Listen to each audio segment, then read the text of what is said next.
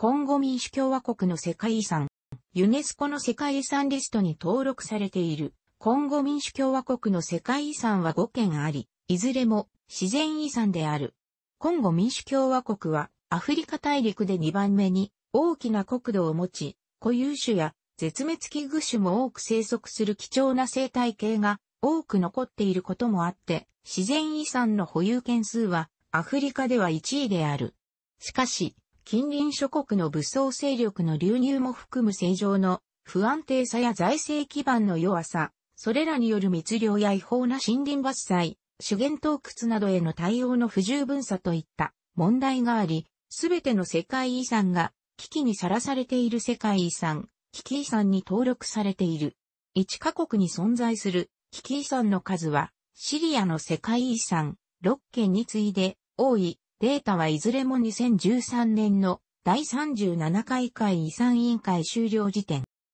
コンゴ民主共和国の世界遺産条約批准は1974年9月23日のことであった。当時の国名はザイール共和国。1980年から1987年には世界遺産委員会の委員国を務めていた。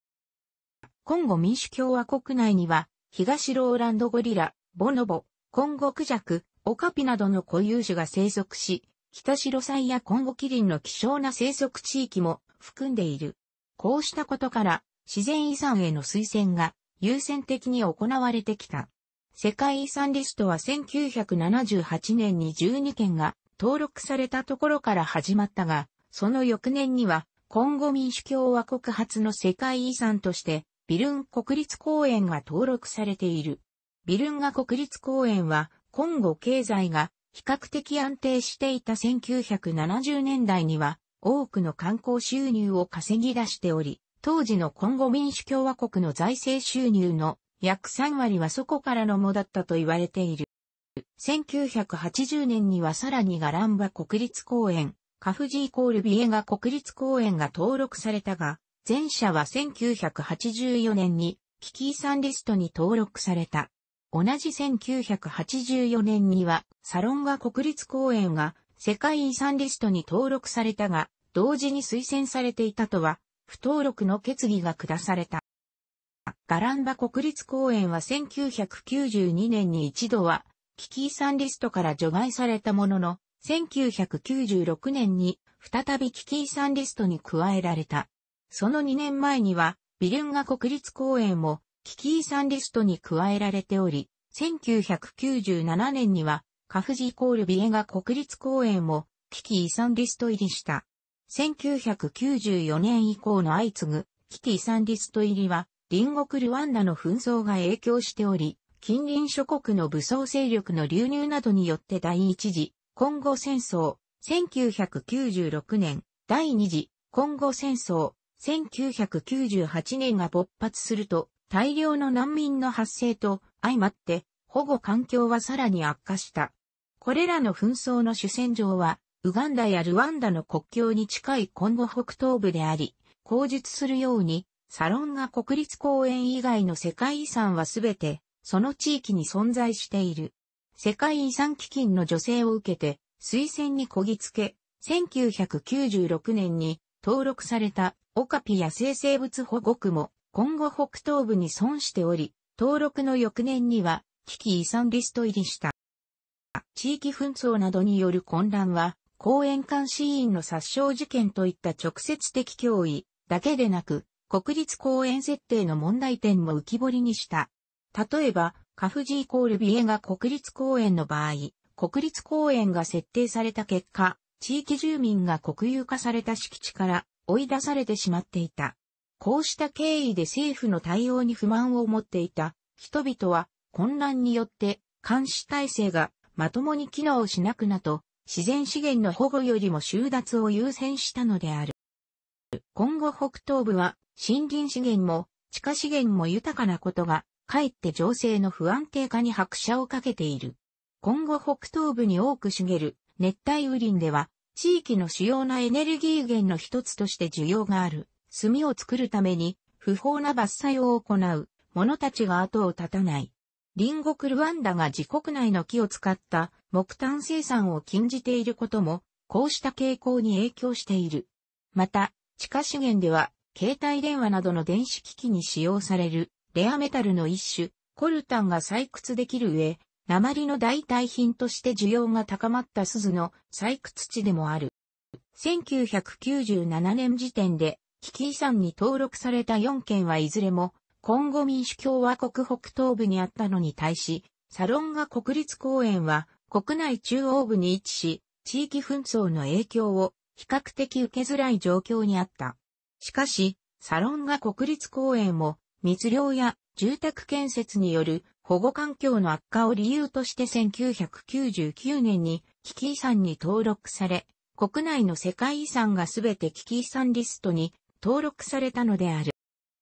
この時、世界遺産センターは各種 NGO とも連携しつつ、保護を支援し続けていくことを決定し、やベルギー、コンゴ民主共和国の旧宗四国からの資金などで積極的な保護、監視活動に乗り出した。活動資金からは、給与未払いの中で危険な監視活動に当たっていた、現地の公園監視員の給与や、新装備の費用が拠出された。合わせて、欧州宇宙機関と連携し、人工衛星から植生の状況を監視することも始めた。また、ユネスコが前面に出て積極的に国際社会でアピールするとともに、世界遺産条約を引き合いに出して、今後民主共和国の政治家や軍当局、さらには紛争当事者らとの交渉を重ねた。一連の活動は、世界遺産条約を前面に出して、保護を要請する外交、保護外交の中では、先駆的なものと位置づけられており、それも含む諸活動は一定の成果を上げたと評価はされている。また、地域住民の間に自然保護の重要性を広く認識してもらうべく、草の根の活動を続ける NGO もあり、地域住民主体の NGO も設立されている。しかし、2004年にジョゼフ・カビラ大統領に対し、ユネスコ事務局長、松浦光一郎が直接会談の場で保護の重要性を指摘した後も厳しい状況に変わりはなく、2007年にはビルンガ国立公園内のマウンテンゴリラ7頭が公園管理者への見せしめを目的として密漁者に殺害される事件も起きた。この年にかつて世界遺産リストからの抹消が議論されたこともあるガランバ国立公園も含め5件すべてが危機遺産のまま、強化モニタリング、監視強化の指定も受けた。その中で、オカピ野生生物保護区については、徐々に保全状況に改善が見られ、一時は危機遺産リストからの除去の可能性も見えていたが、2012年に武装勢力による殺害、破壊事件が起こり、それまでの現地関係者や NGO の努力を台無しにする形で、状況はむしろ悪化してしまった。世界遺産基金からは1979年から2012年までの間に保護、管理やスタッフの教育、装備品の調達などに計41回、総額101万2550アメリカドルが拠出された。2013年時点では文化遺産の登録は1件もない。自然遺産は以下で見る5件の国立公園や自然保護区であり、前述の通り、いずれも危機遺産リストにも登録されている。11州制の区分をもとに、地域別に見ると、東部州10にあるのが、ガランバ国立公園とオカピ野生生物保護区で、ビルンガ国立公園の一部も含まれる。北木部州9にあるのが、ビルンガ国立公園の残りで、南木部州11とマニエマ州8には、カフジイコールビエガ国立公園がある。サロンガ国立公園はそれらから離れて、バンドゥンド州、1、赤道州、3、西火災州、4、東火災州、5の4州にまたがっている。サロンガ国立公園を除くと、すべて世界遺産登録基準10、つまり絶滅が危惧される野生生物の生息域を含むことを評価する基準が適用されている。ビルンガ国立公園は、マウンテンゴリラ、カフジーコールビエガ国立公園は、東ローランドゴリラ、ガランバ国立公園は、北白菜、オカピ野生生物保護区はオカピがそれぞれ絶滅の危機に瀕している生物として特筆されている。なお、この基準が適用されていないサロンガ国立公園にも絶滅危惧種は生息している。口述。サロンガ国立公園はもともと一般観光客の立ち入りを認めていなかったが、それ以外の物件は予約が必要な場合もあるにせよ、観光は可能だった。しかし、それらの世界遺産が存在している東部州、北キブ州、南キブ州では、ルワンダ解放民主軍、ルワンダの反政府勢力や神の抵抗軍、ウガンダの反政府勢力などによる略奪、暴力、コンゴ民主共和国軍と国軍離脱兵士の対立などの影響が顕著であり、日本の外務省は退避勧告を出している。ビルンガ国立公園は東部州と北紀部州にまたがる面積 8000km の国立公園である。ビルンガ山地周辺に位置し、コンゴ民主共和国の国立公園の中では最古の歴史を持つ。世界遺産登録は1979年で、1996年にはラムサール条約登録地となった。前身は1925年に設立され、1929年に大幅拡大されたアルバート国立公園である。この国立公園は現在では、ビルンガ国立公園、ルワンダの、ウガンダのに分割されている。ウガンダの国立公園名に現れているように、もともとはゴリラの保護を目的とした国立公園で、ビルンガ国立公園には、マウンテンゴリラの全世界の生息数、約650頭の半数ほどが住んでいる。また、エドワード湖周辺には、カバが多く生息しており、世界最大のカバ繁殖地とされている。他の哺乳類には、アフリカゾウ、アフリカ水牛、ウォーターバック、オカピ、ライオン、ヒョウ、ボンゴ、チンパンジーなどがおり、ラムサール条約に登録されているように、カンムリズル、コウノトリ、ペリカンをはじめ、絶滅危惧種や気球種も含む706種以上の鳥類も確認されている。しかし、ルワンダ国境に近いことからルワンダ紛争の影響を受け、流入した兵士たちの密漁が横行した。民兵集団マイマイなども、カバの大量虐殺を行い、かつて1986年に3万3000頭いたとされるが、2007年には約1000頭にまで激減した。大量に流入した難民の存在も問題で、その数は100万人とも言われる。彼らは焚き木を求めて森林を破壊しただけでなく、彼らが出す大量のゴミも環境汚染につながっている。ビルンガ国立公園の危機遺産登録は1994年のことであった。密漁者たちに対して厳しい取り締まりが実施されているが、前述のように、その報復行為として2007年にマウンテンゴリラたちが殺害される事件が起きた。また、その翌年にはマウンテンゴリラの生息域にも影響を及ぼす、政府軍と反政府勢力の激しい衝突が北キブ州で起こっている。ガランバ国立公園は東部州に位置する面積 5000km の国立公園である。1938年に設定された国立公園でアフリカ水牛、後部、ウォーターバック、アヌビスヒ、サバンナモンキー、アフリカゴールデンキャットなど多様な動物たちが暮らしている。また、気球種のアフリカゾウの生息地でもある。しかし、それらよりも重要なのが、白サイの亜種であり、絶滅寸前となっているの存在である。北白サイの角は、アジア諸国などでの需要が見込めることから密漁が絶えず、時代を追うごとに、ヘリコプターやキャノン砲など、使用する機材も大掛かりなものになっていった。1963年に約1300頭いた北白祭は、1984年には15頭にまで激減しており、その年に危機遺産リストに加えられた。その後、密漁取締りの厳格化などの保護政策が成功し、1990年代に入ると全増に転じていることが確認された。35頭に回復したことが確認された1992年に危機遺産リストから除外された。しかし、その後、難民の流入やウガンダの反政府勢力神の抵抗軍の侵入によって保護環境が悪化し、公園職員の殺害事件も起こった。こうした地域情勢の不安定化などによって、再び北白菜の生息数が減少したことから、1996年に危機遺産リストに再登録された。密漁には流入したスーダンの反政府勢力も加わっている。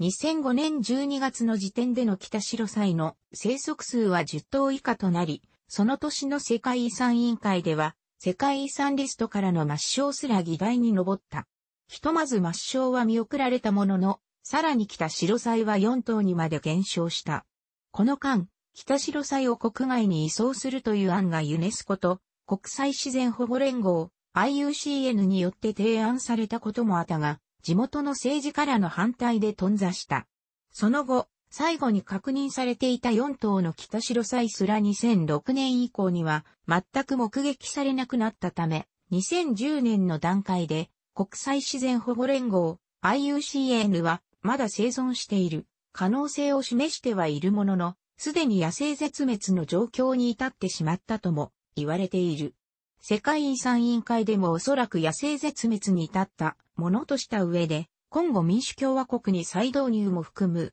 将来的な対応策を求めている。カフジイコールビエガ国立公園は南キブ州とマニエマ州にまたがる面積 6000km の国立公園である。1970年に設定され、カフジ山とビエガ山という二つの死火山を要することからその名前がついた。前述のように国立公園設定にあたって地域内の住民たちを追い出したことが後の環境悪化の一因となった。赤コロブス、アビシニアコロブス、チンパンジー、フクロウグエノンといった霊長類やアフリカ緑広橋、大アフリカスゲヨシキリ、コンゴゴシキ太陽鳥などの貴重な鳥類生息するが、この国立公園で特筆されているのは、絶滅危惧種の東ローランドゴリラの存在であり、もともとこの国立公園は、東ローランドゴリラの生息地域を守るために設定されたものだ。1980年代には観光ツアーも盛んに行われたが、その結果、人間が持ち込んだハシカなどの病気や、十二指腸虫などの寄生虫が原因で、ゴリラの数が減った。さらに1990年代半ばに、ルワンダ紛争の難民5万人が国立公園の境界域に流入したことで、環境はさらに悪化した。この難民キャンプは、国際連合難民高等弁務官事務所や今後、当時はザイール府の協力などで移転されたが、情勢の悪化は観光客の減少につながった。1992年には2730人の訪問があったが、1998年には一人も訪れなかったのである。この観光収入の激減は、公園管理の財政悪化にも結びついた。こうした状況の中、1997年に危機遺産リストに登録されたが、その時点で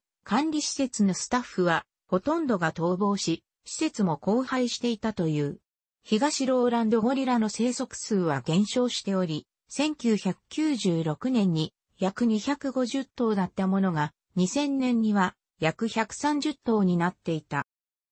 前述のコルタンの違法な採掘によって環境悪化の被害を受けている国立公園の一つでもある。サロンガ国立公園は赤道州、バンドゥンド州、東火西州、西火西州にまたがる面積3万 6000km の国立公園で、その面積はアフリカ第2位とされる。また、熱帯雨林保護区としては、世界第2位と言われている。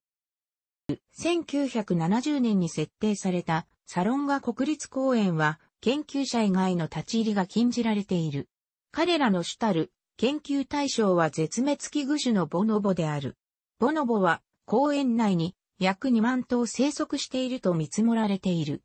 他の生物としては、準絶滅危惧のオカピやボンゴ、絶滅危惧種の丸耳像をはじめ、水ジャコウネコ、赤コロブス、アンゴラコロブス、オオセンザンコウ、オナガセンザンコウ、キノボリセンザンコウ、ヨウムなどが生息している。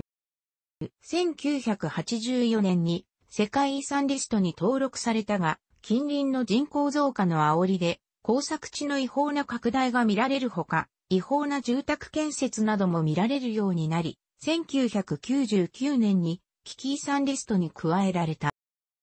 オカッピ野生生物保護区は、東部州に位置する面積 13,726.25km の野生生物保護区である IUCN カテゴリーでは国立公園に分類。その名の通り、世界三大珍獣にも挙げられる準絶滅危惧のオカピが群生している地域で、保護区の設定は1992年、世界遺産登録は1996年のことである。この物件が世界遺産に登録された時点で、オカピはアフリカ全土に約3万頭生息していたが、そのうち約6分の1がに設定されたこの保護区内で暮らしていた。他の生物としては、哺乳類52種、内霊鳥類13種、鳥類376種などが確認されており、貴重なものとしては絶滅危惧種のや、気球種の丸耳像などが挙げられる。